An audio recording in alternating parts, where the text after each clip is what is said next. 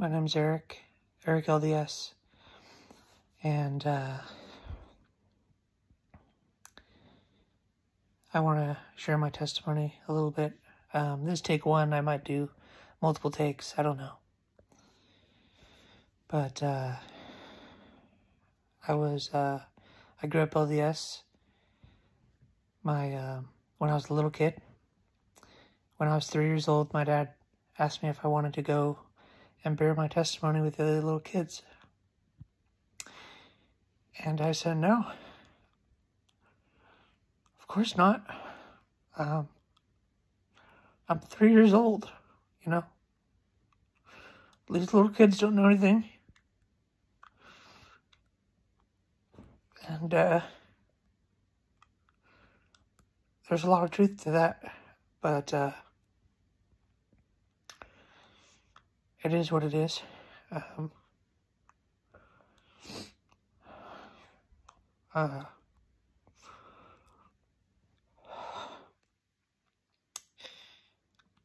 sorry. Uh,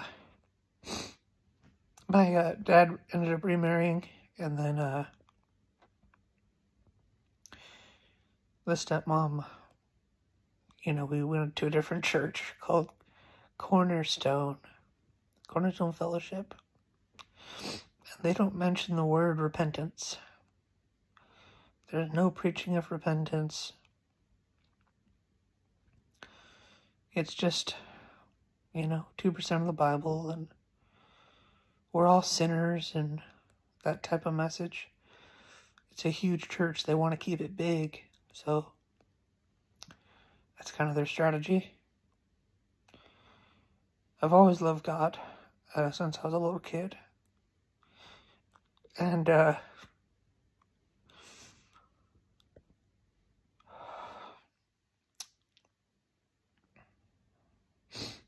anyways, uh,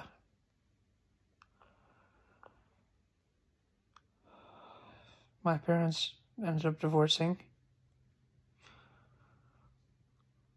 And, uh, I started meeting with the missionaries. And at first I was trying to battle with them, you know. I was Christian and I didn't really want anything to do with it and um, I wasn't very smart at the time. So I was losing these debates and uh, I ended up meeting with Sister Poulter and Sister Tiawa and uh, Sister Poulter especially, was on fire for God.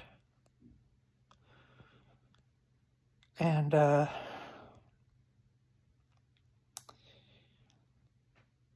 she showed me a verse in Acts. It says something about being baptized.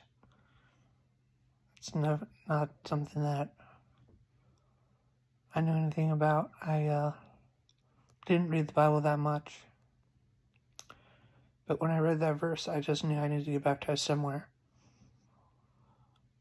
And, uh, you know, this church claimed to have the authority and the the gift of the Holy Ghost is something I really wanted because I've always really, really liked the Holy Spirit, you know? And, uh,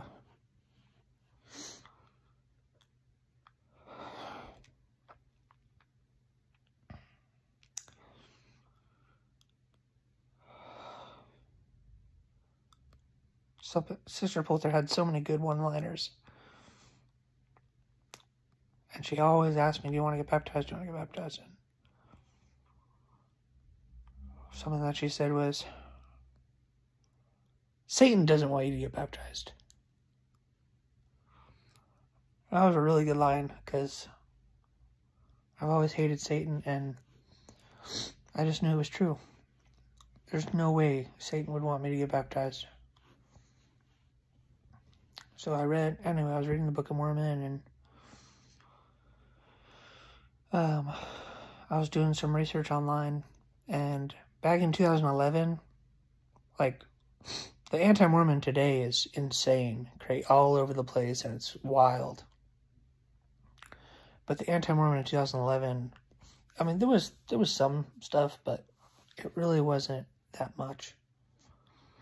And anyways, it was it wasn't very effective, put it like that. And it made me, you know, it was like, anyway. Oh, by the way, I just want to macro this because I was going to say something about the South Park episode of of it's called All About the Mormons, South Park episode. So, this is actually part of my testimony. I was at my friend Trevor's house and he's, you know, playing he's like playing two different video games at the same time and he's watching TV. And it's South Park and it's the Mormon episode. And uh basically the whole episode they just make fun of Joseph Smith. Well, I I didn't even know. I didn't even I didn't even really know it was Joseph Smith. I didn't really I, I didn't I didn't put the pieces together. This is I was really young at this time, by the way. This is before. This is when my uh, my dad and my uh, stepmom were together, right? I just remember they were making fun of this this prophet, this guy he's claiming to be a prophet in the show, this cartoon, you know. And it's like Joseph Smith was called a prophet. Dum dum dum dum dum. Stuff like that. And my friend is laughing. Laughing, laughing, laughing. But for me, uh,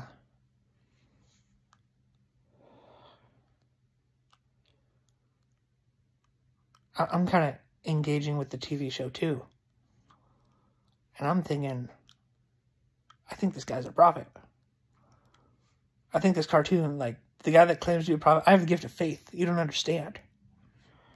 And I just remember, I didn't say it out loud, but I said, if I was in that TV show, I, would follow him. It's pretty funny. It ended up being Joseph Smith, who's the guy that I'm, you know, following now. Crazy. I was even asking him my friend to explain the joke because he thought it was so funny, and he was just like he could he he, he wasn't really. But anyway,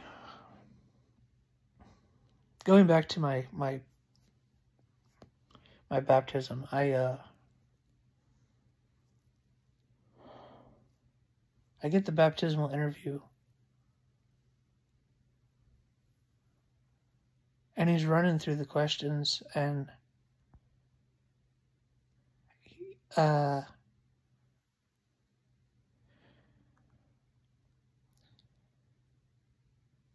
he just he saw how much I love God and stuff.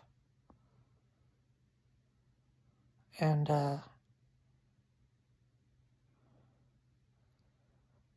at the end of it, at the end of this interview, I said, Do you think I'm ready? And he says, Oh, yes, you're ready you're more than ready. And like he walks out like that. I'm just like, okay. You see, my perception of the Church of Jesus Christ Latter-day Saints, I knew it was different. I knew that most people didn't believe in the Book of Mormon. But I didn't really know what we believed. Really.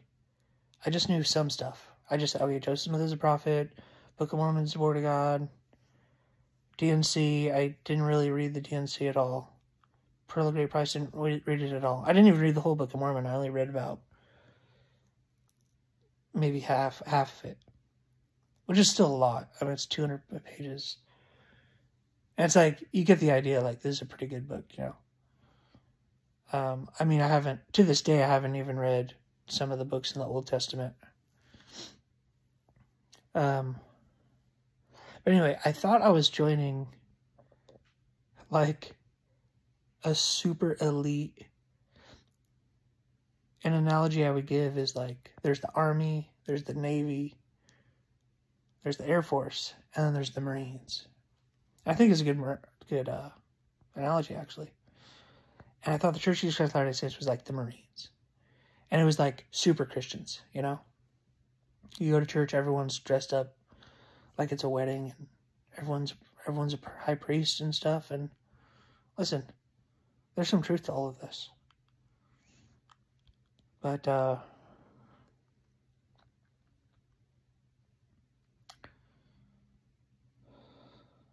I think I might be getting ahead of myself a little bit.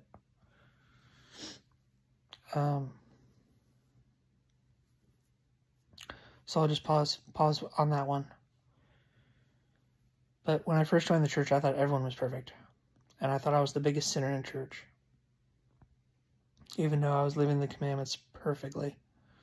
Like, um, I want to say perfectly, I just mean like Genesis chapter 6, verse 9, and, you know, it was like, I was like a Job or a Noah, you know, like, like, uh, little John the Baptist, you know, just as good as a human can be.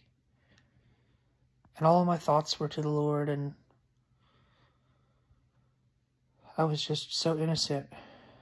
And uh, my baptism was brutal. I was uh, I was going through spiritual attacks and stuff, but I just remember when I came out of the water, it felt so good. I was baptized by a guy named Stephen Paradise.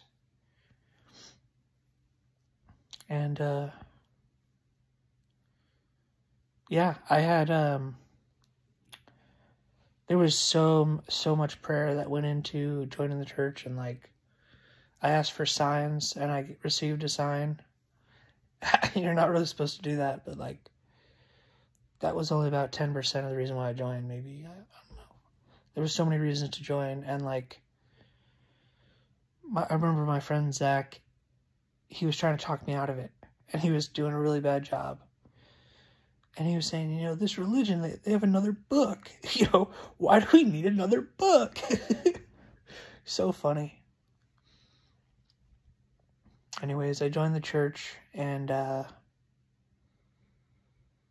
I start learning more about what we believe. And uh, I'm uncomfortable with certain doctrines and stuff and uh,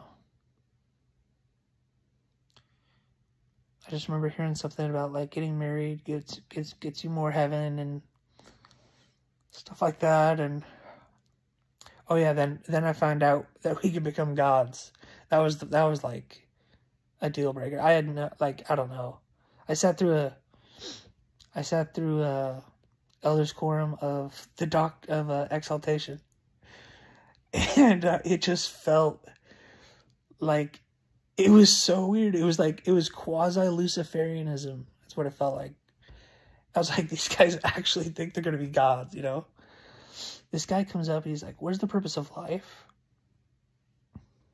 And the guy raises his hand, he's like, you know, to get to heaven. He says, Is that the purpose of life? To get to heaven? Another guy raises his hand, you know. Purpose of life is to do your best with what you have. He said, So is that the purpose of life? To do your best? And he just kept saying that. He, he would just keep, he wouldn't deny it. He would just like kind of mock it, you know? And then finally, the guy in the back, he says, The purpose of life is to reach exaltation. And then the uh, Elders Quorum leader, who's a guest, he's like, Oh, great, great job reading the back of the, the back of the manual. good job reading the back of the manual, Smalls, you know. and uh and I'm thinking that's that was the worst answer of them all. And there were so many answers given. And I just I was super uncomfortable with that doctrine. And then uh then I started to come across the big anti-Mormon doctrine on the internet. I started to find well, I found Sean McCraney first, who was the world's biggest anti-Mormon. He was a bishop in the LDS Church and supposedly was born again and then uh, didn't know what to do. And so he uh, went into debt to go to Utah to set up a TV show to bash Mormonism full time for about 10, 12 years, something like that. He was very entertaining. He was smart. He was amazing. And the people would call in and he would just destroy them. and he was faith alone, grace alone, Christ alone, you know, by grace, through faith, you know, you just need Christ, you know. And uh, this one guy called in one time and he, he's like, I'm in Africa. I'm in Africa right now. And uh, I agree with everything you're saying, Sean. But I keep asking God if the church is true. And there's all these just massive, huge manifestations from nature that says, yes, it is true. And Sean McCraney says, really? Like that, and then hangs up. And I'm just like, huh. Sean McCraney must have won 40, 50 in a row of call, phone calls, just destroying people. These Latter day Saints that were calling in, just destroying them. And then finally one day this guy calls in and he's like, Hey Sean, Sean, why aren't you getting any of my emails, Sean? Like that. And Sean McCraney is like, Yeah, I'm reading them. They're really long. He's like, Yeah, why won't you debate me? Let's go. I'm ready. Come on, Sean. Show me the light. Why don't you want to debate? And Sean says, Because you would destroy me.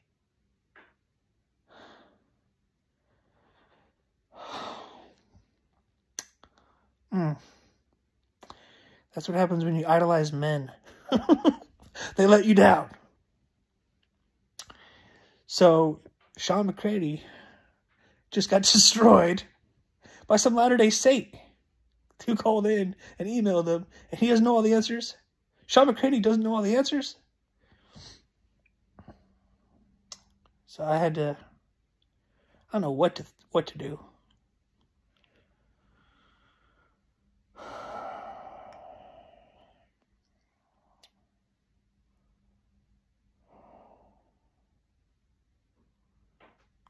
Anyways.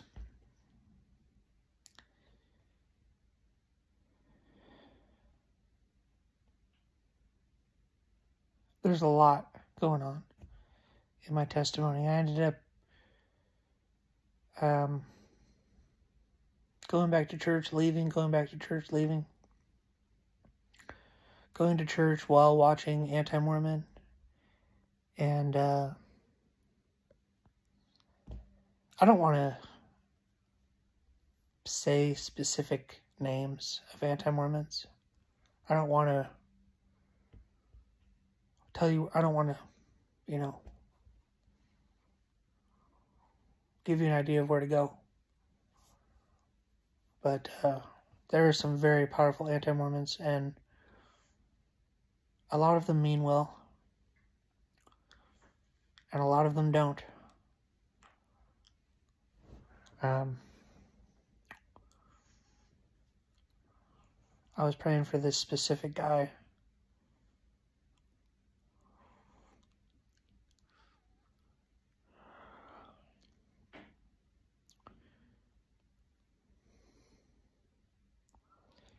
And the Lord told me he knows better. Anyways, I was uh I was deceived for a very long time from anti Mormons. Uh, but, uh, you know, the main anti Mormon line that's out there is conman theory. That Joseph Smith just made up the Book of Mormon and the whole thing was a con. And, uh, I'm, I'm not really buying that. I wasn't really buying that ever especially with the chiasmas in the Book of Mormon and Alma and uh, stuff like that. I ended up, I ended up. Uh, this is, this hurts to say this, but uh, with all the anti-Mormon that was out there, I. Uh,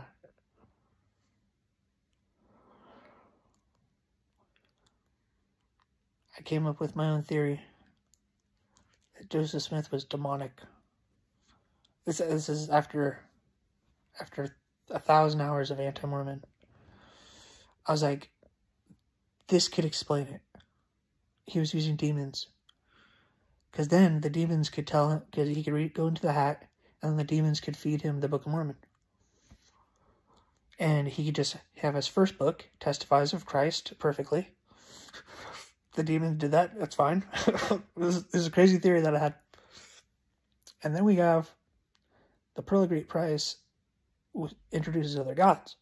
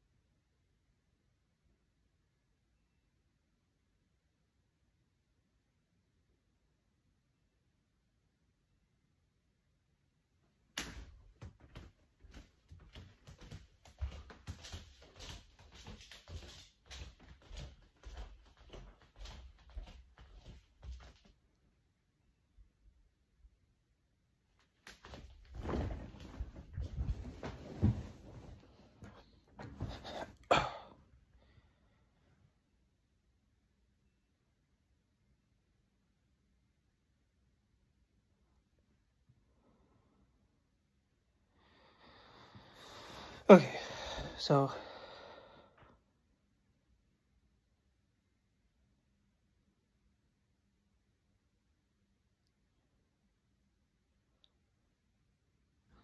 So a lot of people in this situation would say, the devil doesn't want me to make this testimony. So there was, you know, something over there.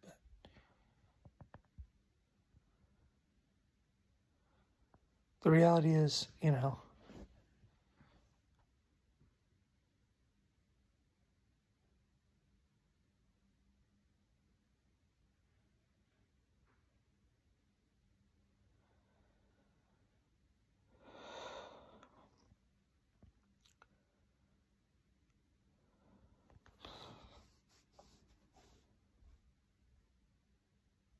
My dad was just coming out of his room. Anyways. Okay. So, anyways, I have this theory that Joseph Smith was demonic.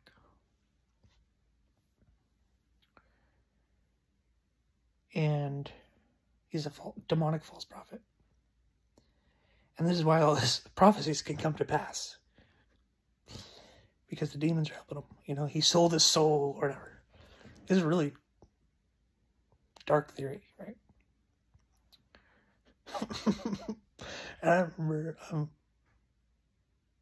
meeting with one of my bishops, and I'm telling him all these theories too. Bishop from a different ward. And uh,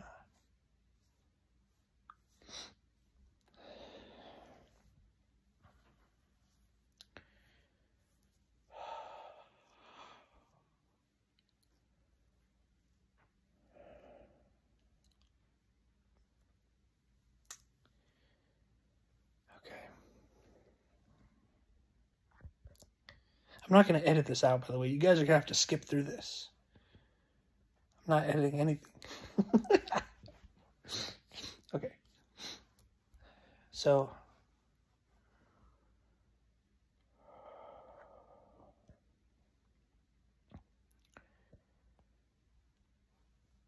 I'm thinking it's demonic, okay? This is my theory.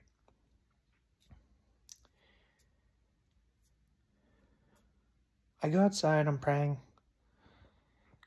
and uh,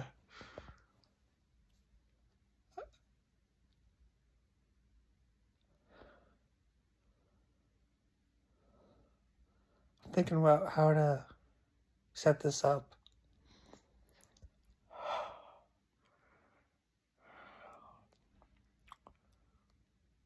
So,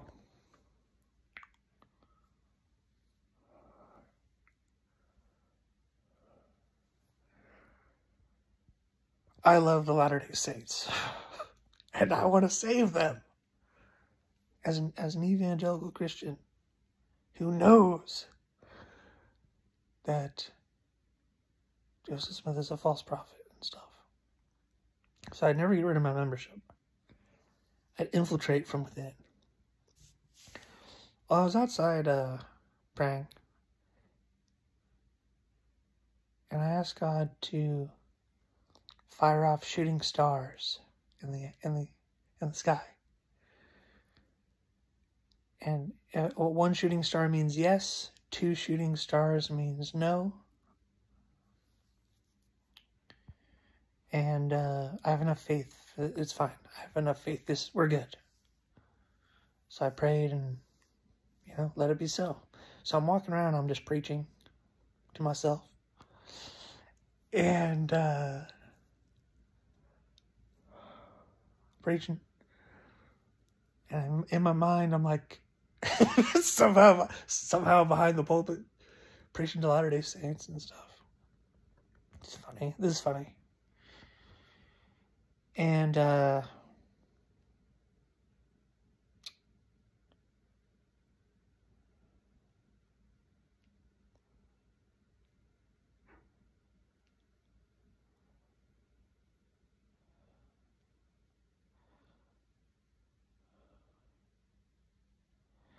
I said, uh,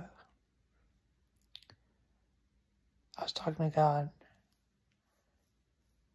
and I was talking to, uh, you know, I was on the, I think I was on the pulpit here in my mind. And I just remember, uh, I remember saying, I'm not saying the Book of Mormon isn't true.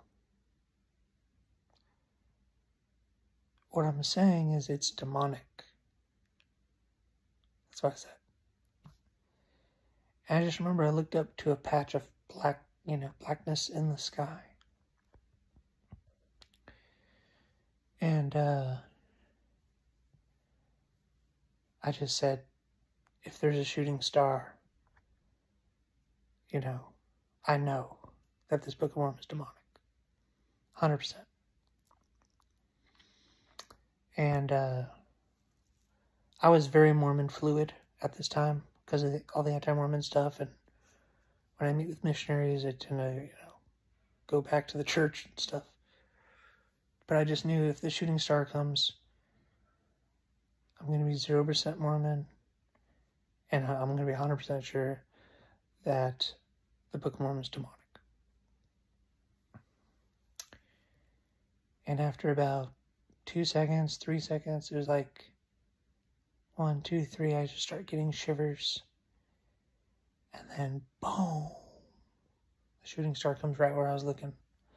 Just and I'm just like I was so happy. And I was so filled with like ecstasy, you know. And I was just like, yes. Um and I said, Give us a man who knows the truth, which is a quote from Steven Lawson making fun of Joel Osteen. Give us a man who knows the truth. And I was just like, Yes, you know. And I went, um, I went home, wrote it down in my uh, testimony journal, and then I called my friend Joel, and I said, uh, I said, Joseph Smith is false prophet. he says, yes, Eric, yes, because he knows, you know, everything I've gone through, and I was, I was praying for friends too. I said, Joseph Smith is a false prophet, and uh, and I was so happy, and I was so sure, and uh,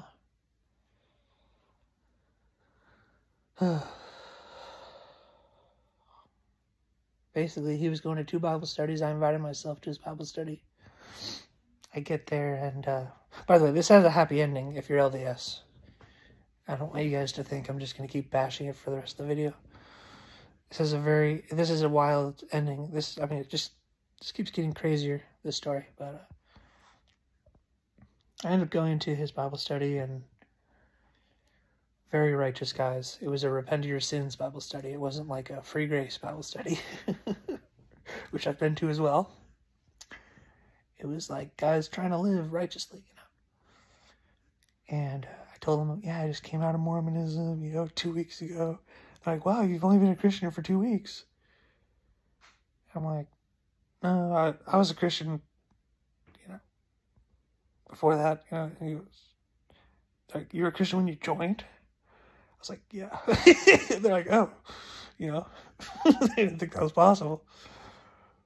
And uh, so I was so excited. I said, you know, I said, I said, the Book of Mormon is demonic in Jesus' name. I'm serious. The Book of Mormon is demonic in Jesus' name. And God told me, you know, 100%. And they're like, really? How'd, how'd he tell you? You know, and I kind of sh- shared the same story that I just did. And I started explaining how it was like my crazy demonic theory and how Joseph Smith was demonic and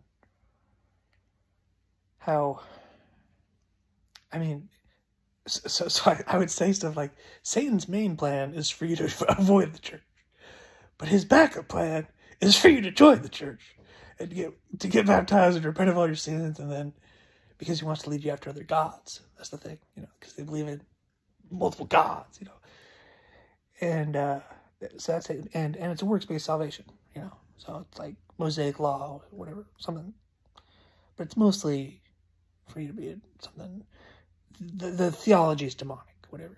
I can really understand. I still don't understand all of LDS theology. It's so deep, but uh, it's not demonic. I'll tell you that. Uh, but at this time, I thought it was. And uh, so I'm telling him, like, yeah, yeah.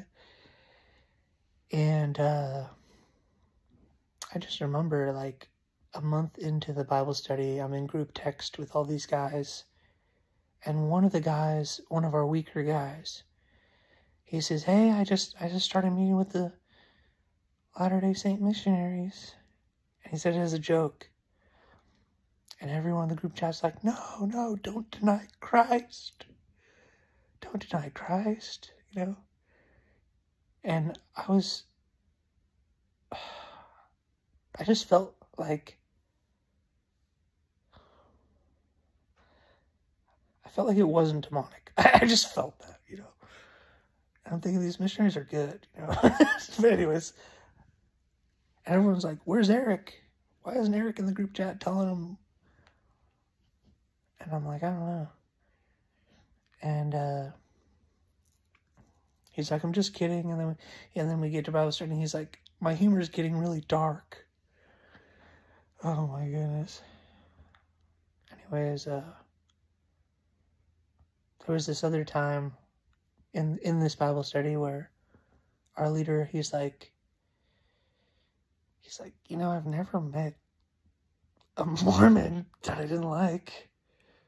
He said he said it like that, like I've never met a Mormon I didn't like. And this thought came into my head: By their fruits you shall know them. And, but I didn't say that. I was gonna say it as a joke. Um, there was this other joke that I said it, it, it wasn't that great of a joke, but it landed, so it was funny. But uh, there was this three hour theology uh, discussion between a Latter day Saint and a anti Mormon. And uh,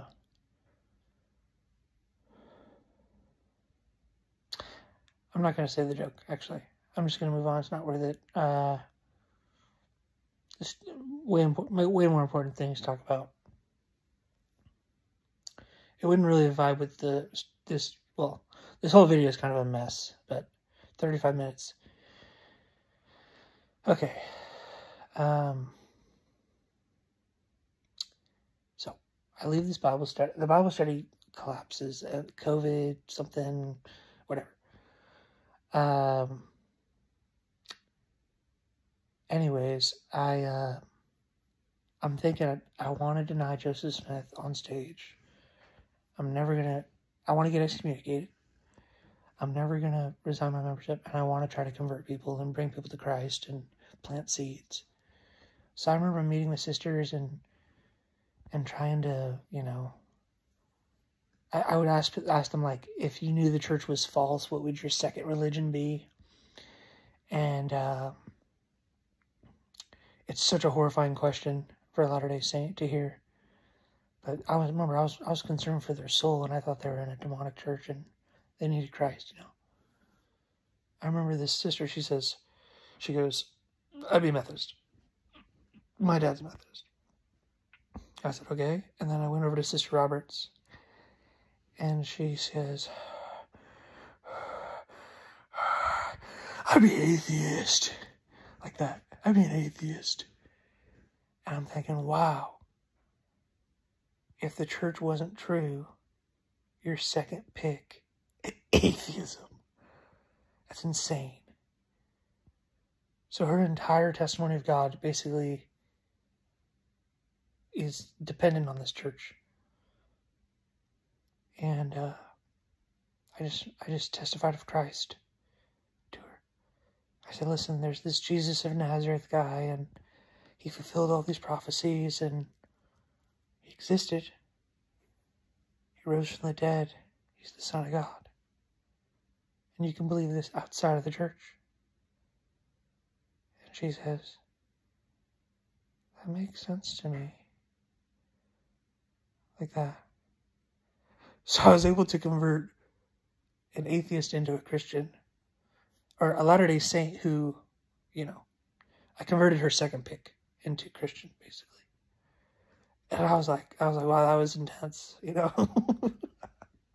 but it's like this girl was, but obviously was an atheist, and then just was completely consumed by, in my opinion, the best church on earth the Church of Jesus Christ Latter-day Saints.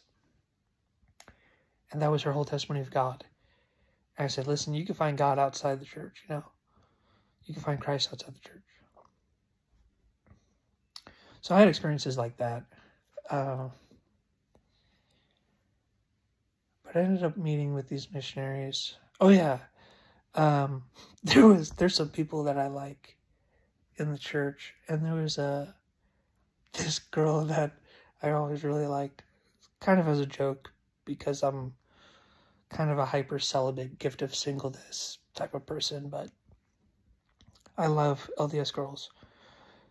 And there was this specific girl that I've always loved since fifth grade. And uh, God asked me, He said, uh, So you're Christian now? evangelical Christian. And I was like, yeah. Think Paige is going to hell? And, uh, you know, she's in like a demonic church, you know? And she's like a really righteous girl. And I looked up to God and I said, as a kind of a, kind of messed up my sense of humor, but I said, uh, well, I said uh, she sinned. And one sin is enough. Which is kind of a very Protestant thing to say to think. And God didn't like that answer. And then uh, he started showing me like visions of her in hell and me in heaven. And he asked me if I would switch places with her. I'm just like, yeah, actually, I think I would you know? And then he started showing me stuff, and I'm just like talking to God. And then, um,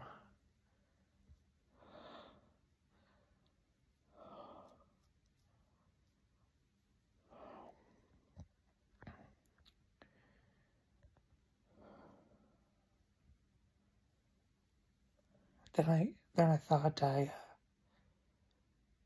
I'm kind of afraid to talk to this girl, but I just had this impression come into my heart. I either need to share her, share with her the gospel, as I understand it, the one that actually works, because apparently the uh, works-based salvation, Church of Jesus Christ Latter-day Saints gospel somehow doesn't work. I think it's Romans eleven six that says the Church of Jesus Christ Latter-day Saints' grace doesn't work, and the Catholics don't work. Grace, it's grace. It's no more. It's works. No more grace. Grace doesn't work if you have if you have works, and the grace, it's gone. The grace is gone. And whatever weird ways they come up with to throw the entire Catholic Church into hell, and all the Mormons are going to hell.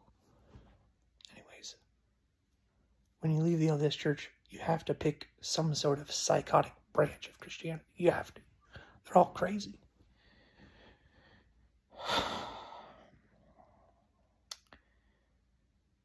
To share the gospel with her or pray for her for six months.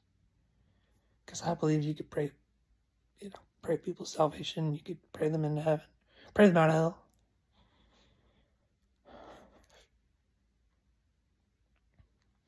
I end up getting a dream, and it's Paige, and she says, I will never be Christian unless you convince me. Like that. And uh, I was like, okay. So I prayed for her for six months, every day, every night. And it was really, there was some like, it's like my Holy Spirit really loves this girl. I love her so much. My name was Paige Lover back in uh, middle school. I sent her like 20 candy grams. It's super cute. I'm praying for every night, and, I'm, and I actually am dumb enough to think that God is going to send one of our best girls into eternal conscious torment hellfire. Unless I pray her out. Me. I have to pray her out. So I'm praying her out. And uh, pray for her salvation, her life, that she goes all in on Christ and all this for uh, for about three months. And then uh, I just remember one time I'm at the playground and I'm praying for her.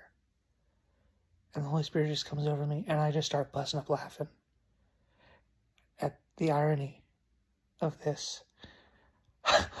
Cause she's she's like she comes from her her her dad is the president of is one of the presidents of the Church of Christ Latter-day Saints. And, uh, she's like way more righteous than me, probably closer to God than me. Certainly, people in her family, like it's a very righteous family, you know. And it just dawned on me how ridiculous it was it would be for a good God to condemn the righteous. You know? And I don't know, like it was like the Holy Spirit was like, okay, I can't, you know, it was funny the first two months, you actually legit praying for her every night, but now it's hilarious. And the Holy Spirit's like busting up laughing. And I could feel it. I could feel the Holy Spirit laughing. And I'm just busting up laughing too. I'm like, you're right. This is crazy what I'm doing. Crazy. but I kept praying for her anyway. Then I met with the missionaries. And uh, Elder Richardson, I believe, and some other guy. The other guy was regular, but Elder Richardson, you know, gift of knowledge, which is exactly what I needed at the time. And he was able to kind of, you know, destroy me theologically and rationally, logically, and clear up all the misconceptions, answered all my questions, and of course, I just fell in love with them. I fell in love. I fall in love with the missionaries. They have the Holy Spirit, and they invite me to go to church and and I'm telling I was like, I'm, trying to stick to it. I'm, I'm telling them. Was like, I had a revelation, you know, the Book of Mormon's demonic, and it just, they're just like, no, you know, it's like, no. Oh, another thing that I ended up doing was uh, I took the Book of Mormon. this is funny too. I take the Book of Mormon and I'm walking around my house and uh, I'm praying, and then flipping to a random section and just reading it, and it's just, and then uh, I was like, oh, this is a book. This is not a book about love. It's a book about obedience. You know, this book is is just all about works and you know. Sorry. So this is just a book about works. You know, it's a demonic book. They're just trying to get you to repent of your sins um, to be saved. You know, um, so, so I was like, so I had you know some sort of position against that at the time, and uh, it's not about repenting your sins; it's about Christ. This is what a lot of Christians are saying these days. By the way, it's horrible, but uh, I just remember I flipped to a random point and I said, "It's going to be about obedience," and at this point, and it was about God's love. And I was just like, oh. And it just, the Holy Spirit came into me. And uh, I just ran to the shower. And I'm just like taking a shower and I'm laughing. Anyways. Bunch more stories I can mention later, but let's fast forward to recently, very recently.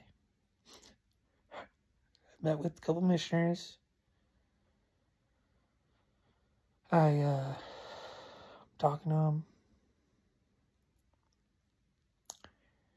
And uh, at this point, I'm a little bit more lukewarm again. This is, I mean, this is years, kind of years later. Um, very recently now.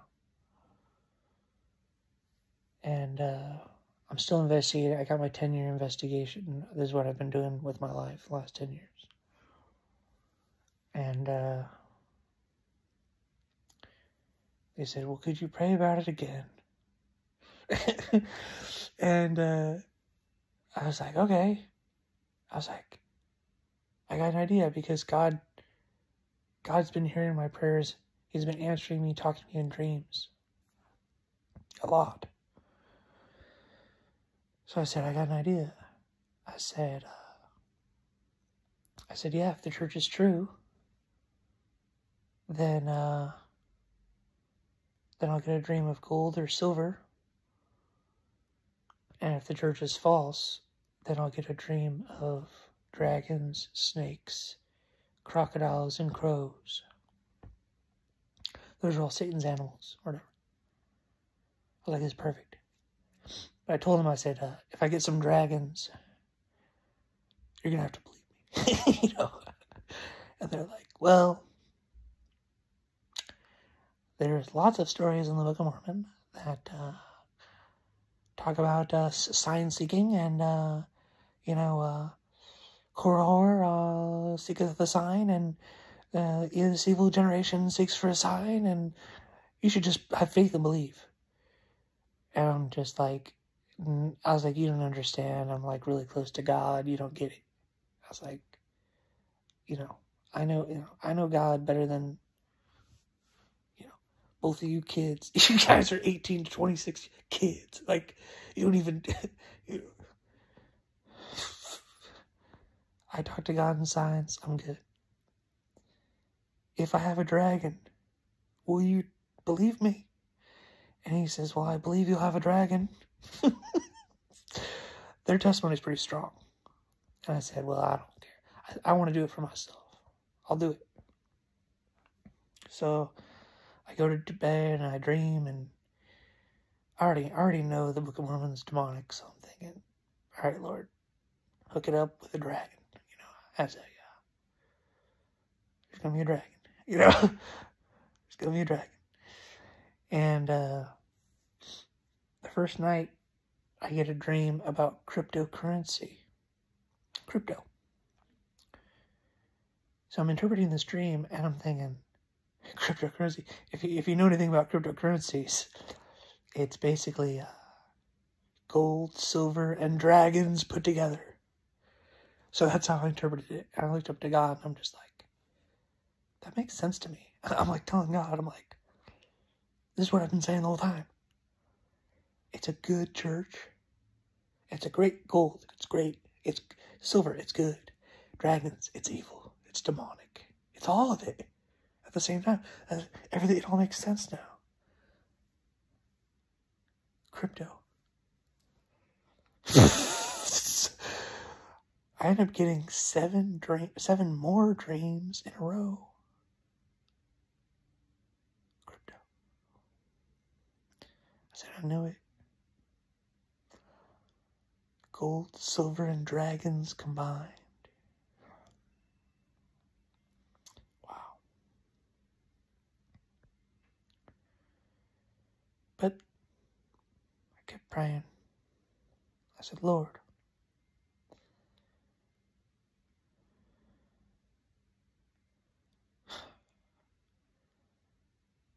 I love a dream about gold and silver. But I'd really love a dream about dragons. And uh, I, I think I went three days without a dream.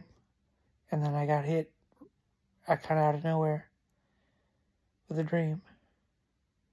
And it was this huge roll of quarters. And I'm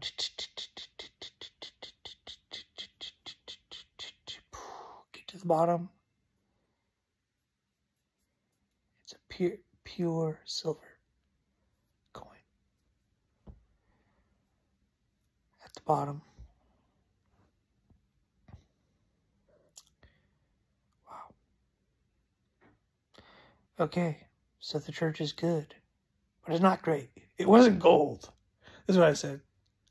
But I did tell the missionaries, I said, okay, you know, got silver, and then, uh,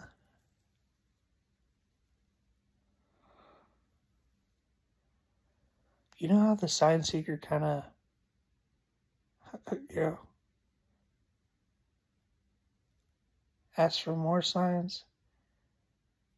I kind of did that. I was kind of in awe, and I told my friend, my friend Joel, the the guy who I told from before. I was like, yes, and I told him his challenge as gold. I was like gold, silver, dragons, and and he's like, oh, he's all expecting a dragon. And I like, yeah, and then I got a dream of silver. And he's like, yeah, I don't think we should be trusting our dreams over the Bible. And I'm like, yeah, uh, I'm definitely trusting God over the Bible, Joel. Because the, cause this dream came from God. You know, I've always been a God over the Bible type of guy. Don't get me wrong, the Bible's the Word of God, you know. But, like, uh, this is pretty direct revelation. I end up uh, going to bed and I think so. I, I so, anyways, the second dream, I believe. Okay, yeah, the second. This is the second dream. Okay, it's gold and silver. they're together, and they're shiny, and they're super shiny. This is my dream now. And I remember in my dream, I'm thinking, Gold and silver don't shine like that. This is fake. It's fake. I woke up and I said, I said, uh, gold and silver. I was, like, I was like, it's fake. And then I said, oh, so the church is fake. And I was kind of kidding because I think it's pretty obvious that the church is true at this point. But I was just making a joke. I was like, so the church is fake. I mean, it was gold and silver and it was shiny. so then I prayed and I said, uh, and then, uh, anyways, I keep praying. Um, I get a dream of the gold price going up by 20% in a day. You know what? Um, that was my second dream. Now it's, now I remember. Um, this was a couple months ago at the time. I have a, I have a video on my channel, I believe, uh, that I talk about it. I'm not showing my face. I'm just walking around. Um, I forget the order of these dreams. But I'm pretty sure the second one was the gold price going up. Um, and then the third one, I believe, was gold and silver. You know, I feel I feel like Joseph Smith in the first vision right now. He just he can't. He's like, I've had so many revelations. It's like, this is the. but I'm telling you, I talk to God a lot. He talks to me. Long story short, I end up getting six dreams total. And uh, I just and and no dragons, guys. No crocodiles, and I'm thinking why I'm thinking I was I was thinking this has to be true. So when I look back at the shooting star I have to reinterpret that whole vision to make this make sense. I'm I'm not saying it's not true. I'm saying it's demonic. And then there was the shooting star, God saying, Yes, you're saying it's demonic. And that's how I've reinterpreted my first interpretation. But if I ever become anti Mormon again, I don't think I can look back at my gold and silver dreams and reinterpret it as because I had six of them. I mean, yeah, the, the gold and silver that were fake, yeah, you could do something with that. You could say, oh, yeah, it was fake. But the silver was pure. And the gold price going up, I, uh, I couldn't believe it. So I told the missionaries, and they're just like, dang. They didn't really care. But they're just like, they pretended to care, like, dang, that's crazy it's like because it's like wow you know wow a sign seeker got a sign. You're amazing. Wow so much faith. It's like it's like i didn't think they were very impressed. But they're just like cool story bro. Like and then the the next group of missionaries were also like yeah it's whatever bro it's like, he said, welcome to the club. We all asked and we all got the answer. Some of us had faith without being an idiot like you. I was just like, okay, well. So, I went to church and I testified. I didn't give very many details, but uh, I just said, you know, my name's Eric. I'm I was struggling with my testimony missionaries asked for a dream. Um, God told me it was true. I know the church is true. It says in Jesus Christ. And then I left, you know.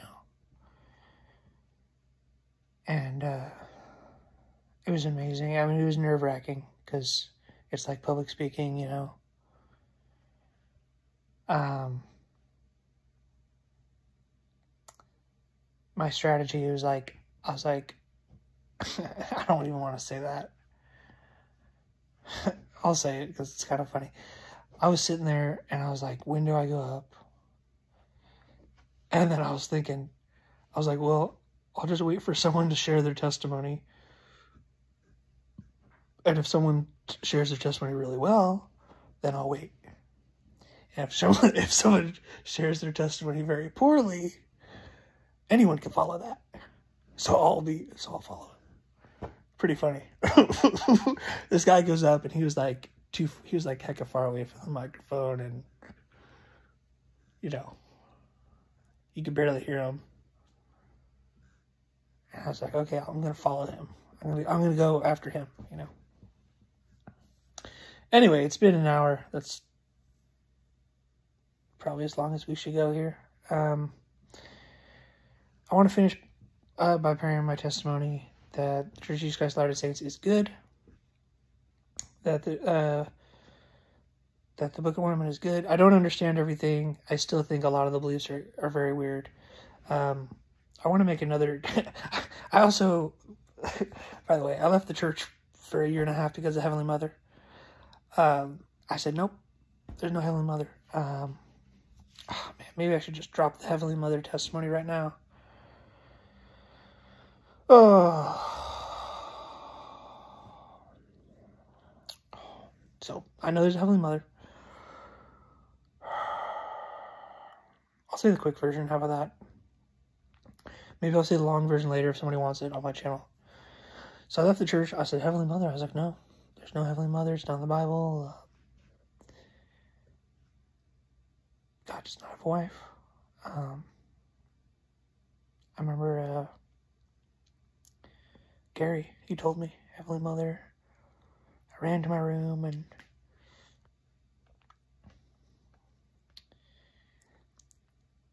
I got up, I ran to the park, and for one hour, I prayed. I said, Lord, you don't have a wife. you don't have a wife. I'm so sorry, Lord. You don't have a wife, you know. You don't have a wife. And I just let it all out for one hour straight. I was like, what was I thinking? You know, believe in this religion and you don't have a wife, Lord. You don't have a wife. And, uh, yeah, so this is, I mean, this is whatever, I don't know, six something, seven years ago, I don't know. And, uh,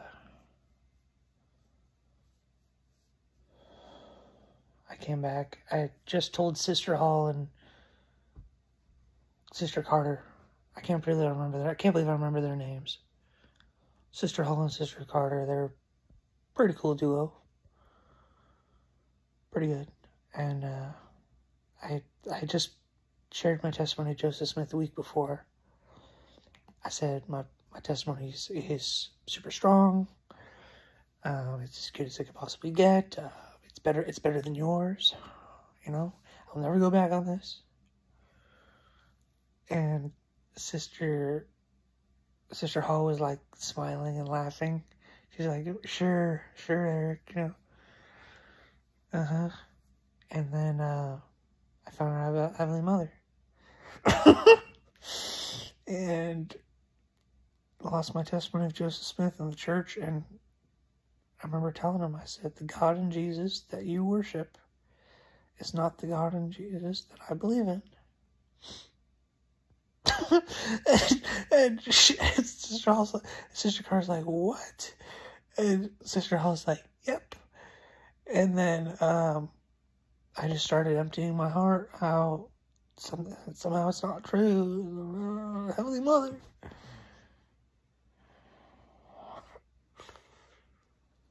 Anyways. I told Brother Harwood, I said, uh, there's no Heavenly Mother. And he says, I, I had a hard one with, I had a hard time with that one too. I said, yeah, it's, it's ridiculous, you know. Heavenly Mother.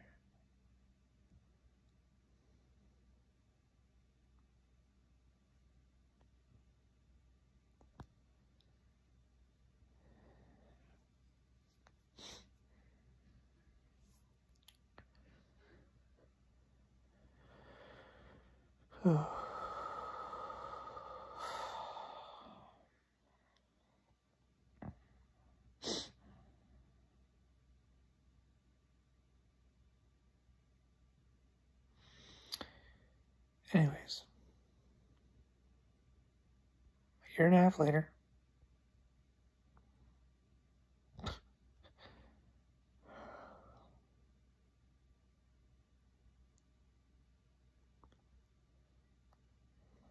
I'm in my room.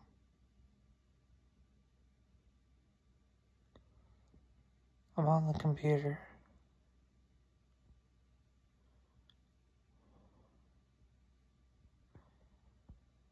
I'm running out of energy, but I'm going to try to give this my best. Because it's worth it. This is just a bonus story, by the way. The main story is over. This, this, but fine. Spoiler alert. This is the world's strongest Heavenly Mother testimony. So, hype it up. Get hype. Alright. So, I'm on my computer. I'm typing. And, uh, I'm battling with free gracers. I'm not a free gracer at this point. Um, easy believism. I'm basically telling these guys about how believe in the Greek is pistis and how you need to have the Lord's discipline. Revelation 3.19. Um, Hebrews 12:6, Proverbs 3:11, Psalm 119:71, and Psalm uh, there's there's another psalm talks about God's discipline. And I'm telling them how important it is and how you need to have it. Hebrews 12:6 or Hebrews 12:8 um if you be without chastisement, ye are bastards and not sons, illegitimate children.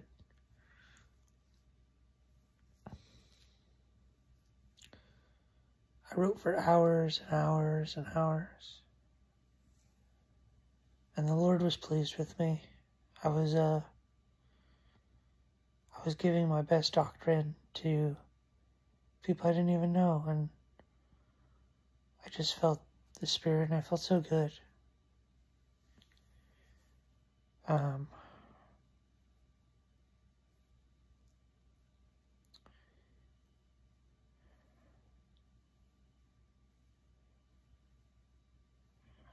I ended going to sleep. And, uh,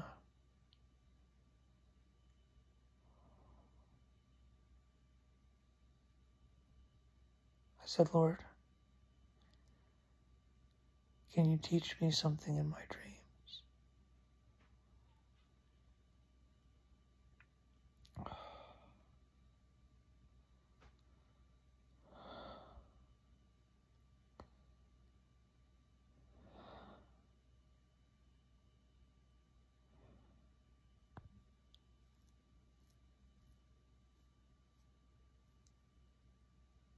Anyways. A dream.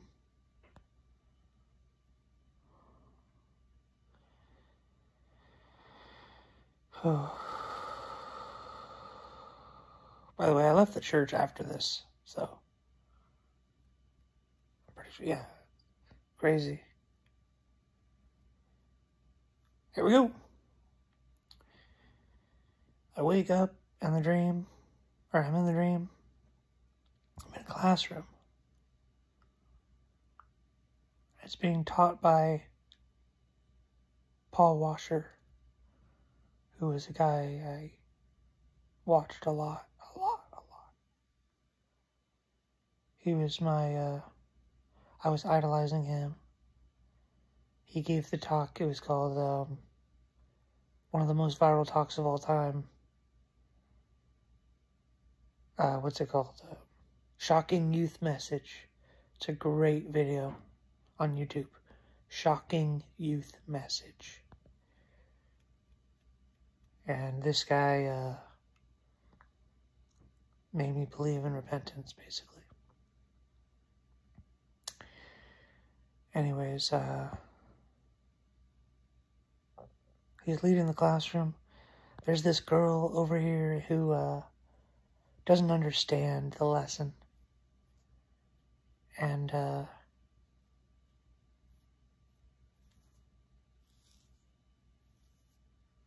I'm looking at her and I'm like, she doesn't understand the lesson. Immediately, bam, there's eight guys surrounding me. And uh, Paul Washer says, read this. And it's the Holy Bible. It comes in, it's my red Holy Bible. And it's Mark 6, verse 41. And it says in the dream, Anyone who knows God knows his. And then a screeching as loud as it could possibly be. I'm not going to yell it. But it says, Mother! Mother! Like that. Anyone who knows, anyone who knows God knows his mother! All caps. And I knew he was talking about Heavenly Mother. And I'm just like, what? That's in the Bible? Anyone who knows God knows his mother? So I wake up out of the dream and I have this massive Holy Ghost. And I have this huge, what I call the LD, the LDS Holy Ghost is what I called it. It's so messed up. But the real Holy Ghost in my chest. I was like, the LDS Holy Ghost is here. Huge Holy Ghost. It starts coming up to my head like this. And it starts cleaning hundreds and possibly even thousands of hours of anti Mormon. And it's just cleaning me. I can feel it cleaning it all out. Like flushing it. And at that moment, I knew there was around a 50 or so ish percent chance that there's a Heavenly Mother. 50 ish percent.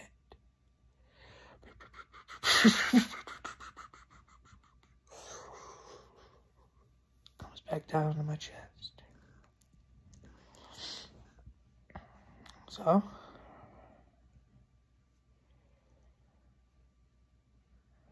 This idea.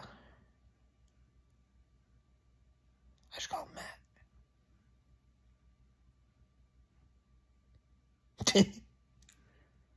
Matt is my evangelical Christian friend.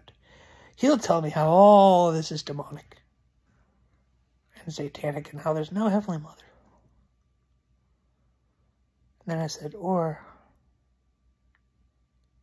I could call Gary. Gary's the guy who told me about Heavenly Mother.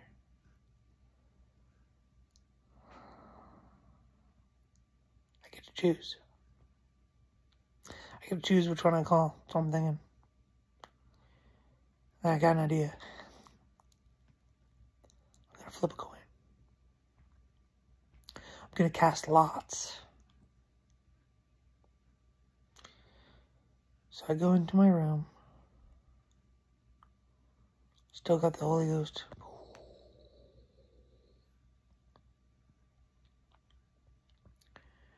I get a better idea.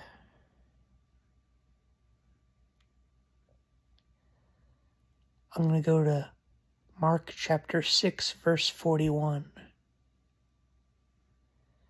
And I'm going to use my pseudo secular eisegetic revelation powers to see if there's a Heavenly Mother. But first, I'm going to pray for five minutes. Let's do it. I took my red Bible. I prayed for five minutes. It felt like 10 or 15 seconds. It was like, it was so easy to pray in the Spirit. I open up the Bible. Mark 6:41. I'm reading it. It says something something there's five loaves of bread. it's like, okay. There's five loaves of bread, dude. Five loaves of bread. Semicolon. The two fish he break also. Two fish. comes off the page. Three dimensional, like that. One of the fish represents Heavenly Father. One of the fish represents Heavenly Mother.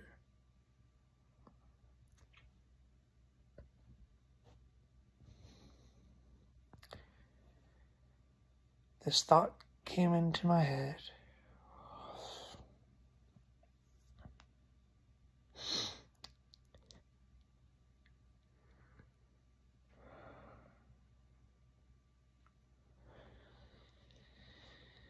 In the same way that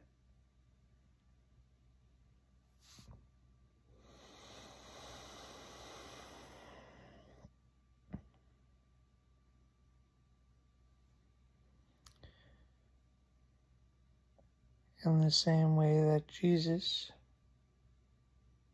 can make an unlimited number of fish from two fish. God can make an unlimited number of gods from two gods. Ding. Oh.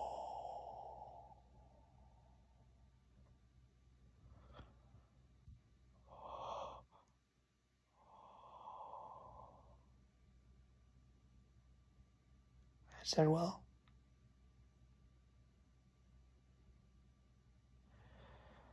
I can still leave the Mormon church. I can still leave the Church of Jesus Christ of Latter day Saints. But not because of Heavenly Mother. wow.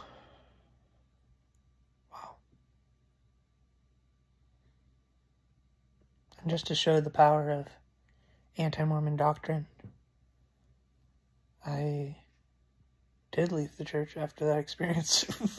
it's just, it's just, you know, so sad.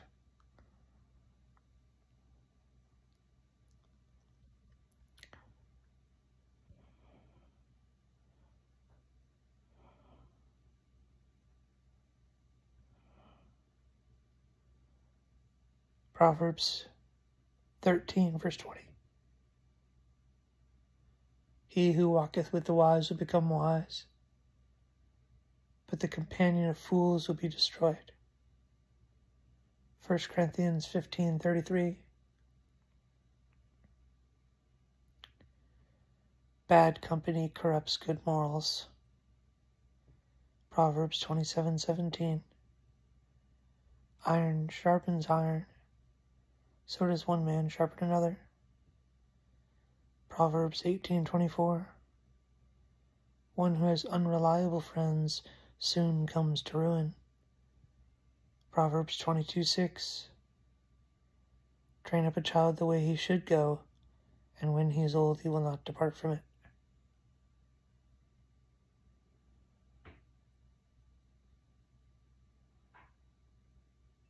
First Corinthians 10:20 have no fellowship with darkness.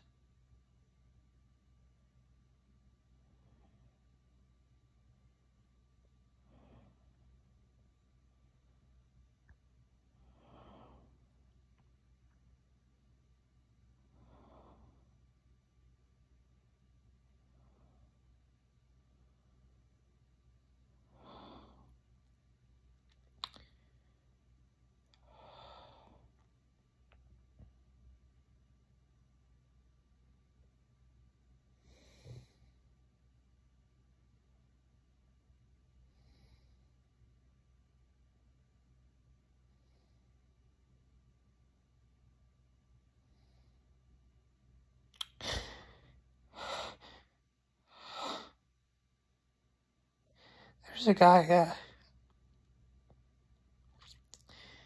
I'll just say his name.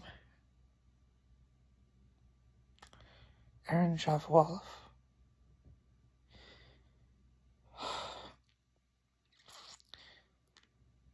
He destroyed my testimony. And uh,